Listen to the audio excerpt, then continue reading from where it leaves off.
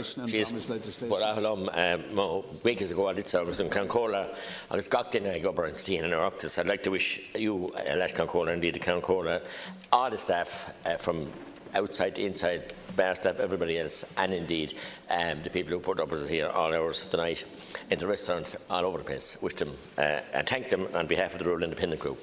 I want to ask um, Taoiseach, uh, Taoiseach, about Amneal, a plant in Cashel, a good plant, and Minister Bruton came to its opening in a fanfare announced for 300 jobs. It had grown to 91 jobs. Great positivity and hope in the town of Cashel. But a bombshell struck yesterday when the company announced that they were reducing that to a skeleton staff of 30, that they were letting 60 people go.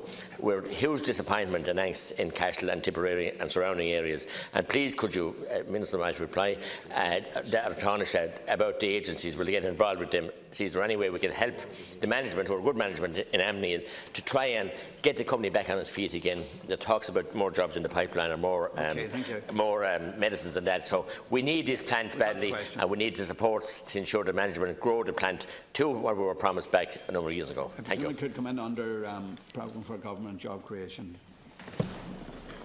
Yeah, it's a, it's a serious issue, though, uh, and I, I, I take that this is, this is a, um, uh, this is a good company that, that was providing very good jobs. And uh, what I can say to the deputy is that, of, of course, um, there will be every state support um, uh, uh, that is available for this company to work with the company and to the to the workforce uh, that obviously now have uh, have a great deal of uncertainty.